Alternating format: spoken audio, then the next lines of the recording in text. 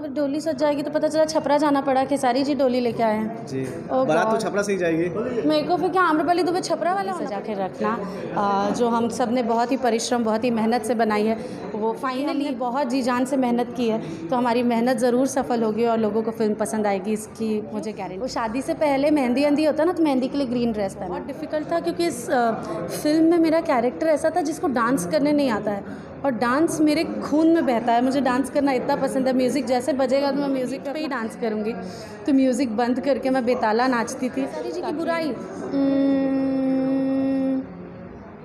नहीं पहले उनकी बुराई थी अब नहीं है मुझे बुराई लगती थी कि लाइव क्यों आ जाते थे? बस।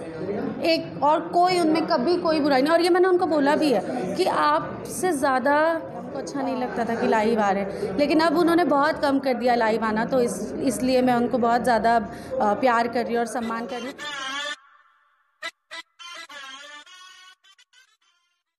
छोटू बाबू छपरा वाले आप लोग देखना शुरू कर दिए हैं भोजपुरी आटनाटन दोस्तों आज ऑफिशियल अनाउंसमेंट हो गया कि अम्रपाली जी की डोली दो तारीख को सज रही है। हाँ बिल्कुल। क्या कहना लेकिन चाहेंगे? पहले मैं ये कहना चाहूँगी कि आपका नाम छोटू बाबा छपरा वाले हैं।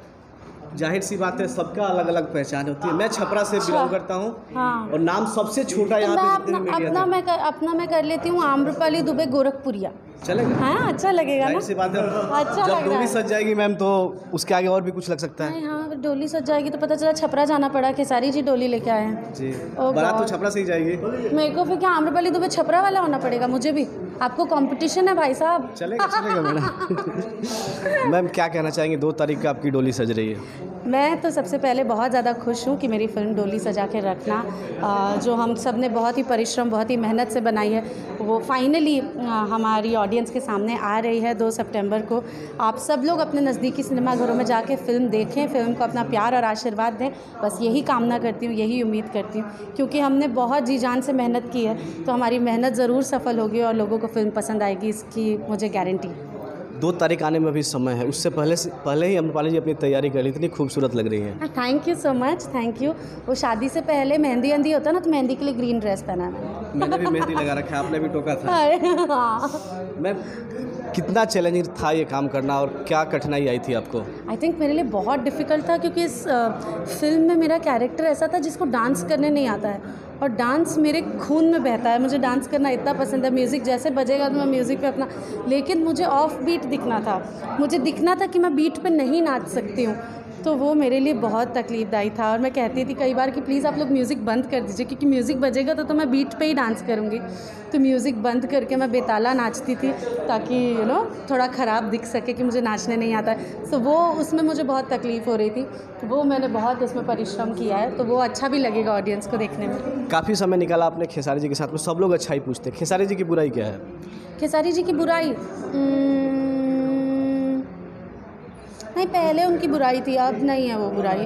पहले क्या थी पहले क्या बुराई थी कि लाइव आ जाते थे हमको अच्छा नहीं लगता था कि लाइव आ रहे लेकिन अब उन्होंने बहुत कम कर दिया लाइव आना तो इस इसलिए मैं उनको बहुत ज़्यादा प्यार कर रही हूँ और सम्मान कर रही हूँ। खेसारी जी की एक ही मुझे बुराई लगती थी कि लाइव क्यों आ जाते थे बस। एक और कोई उनमें कभी कोई बुराई नहीं और ये मैंने उनको बोला भी है कि आपसे ज़्यादा यू नो जनता आपसे ज़्यादा किसी को प्यार नहीं करती, सबसे ज़्यादा आपको प्यार करती है, इतना स्नेह देती है।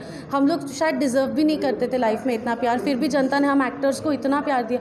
आप अपनी तकलीफ़ उनको बता के उनको दुखी मत करिए, वो दुखी हो जाएँगे। बस ये बात से मुझे ख़राब लगता था और ये मैंने उनको बोला भी था डोली सजा के रखना के टाइम पर और उन्होंने बोला था कि अब मैं प्रॉमिस करता हूँ कि जितना हो सके उतना कम लाइव आऊँगा, अपना दुख लोगों के साथ नहीं बांटूँगा। मैं लोगों को दुखी नहीं करूँगा और उन्होंने, मैंने देखा कि वो बहुत कम अब लाइव आते हैं। कुछ एक आखिरी सवाल है। कुछ ऐसा किस्सा बताएँ जो दर्शक नहीं जानते। आपने इतना इंटरव्यू एक घंटे से आपने इंटरव्यू दिया। कुछ ऐसा आपका और खेसारी जी का किस्सा?